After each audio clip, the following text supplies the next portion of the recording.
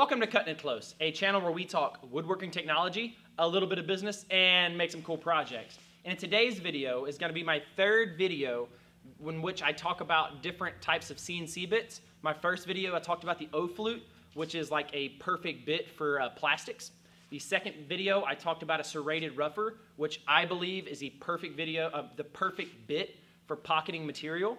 And in this video, I'm going to go over the chip breaker. Now, if you haven't watched a serrated rougher video that I made, I highly advise it before watching this video because it kind of um, tells you a lot about what the chip breaker is going to be used for. And my best analogy of what the chip breaker uh, bit is, it's like if a finisher bit and a serrated rougher bit got together, got married, and had a kid, you would get the chip breaker.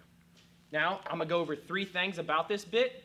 I'm going to go over what the bit is, why you would use it, and how you would use it.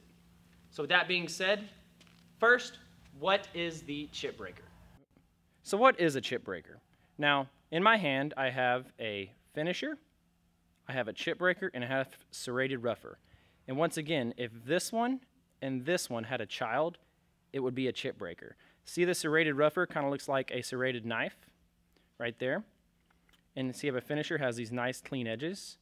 Well, a chip breaker, whoop, let it, let it zoom back in for you. So a chip breaker has these little serrated little nicks on there. I call them little chip breakers.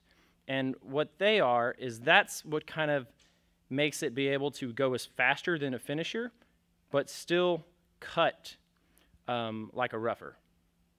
Okay, so faster than a finisher, still cuts like a rougher. So I have this piece of paper right here that's kind of going to show you why. So these little um, little nicks are actually staggered.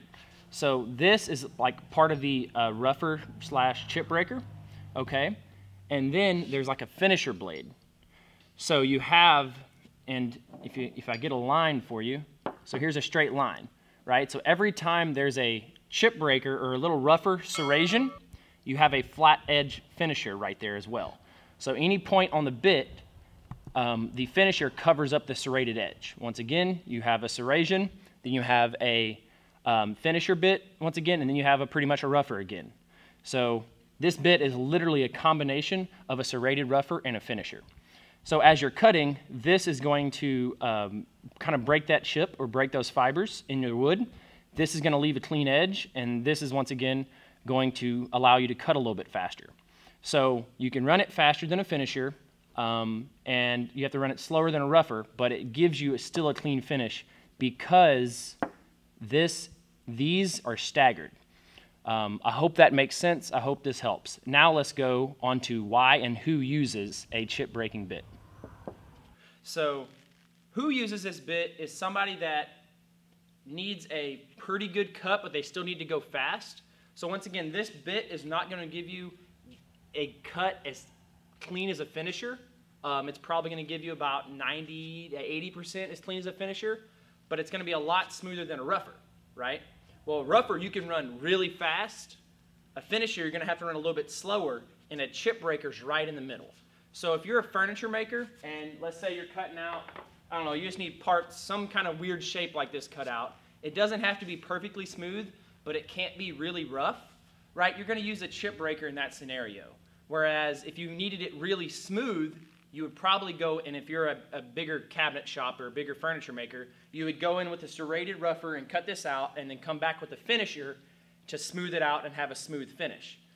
But if it's maybe, let's say it's plywood um, and not hardwood, you use that chip breaker to go in there and cut it out and you only need one pass. It saves twice the amount of time um, and you know, your, your part's looking good. Maybe you still have to sand it, so you don't really care if it's a perfect, pristine edge on it or something like that. The other thing that I personally have used it for is if I'm pocketing out a plywood or making a big bowl or something.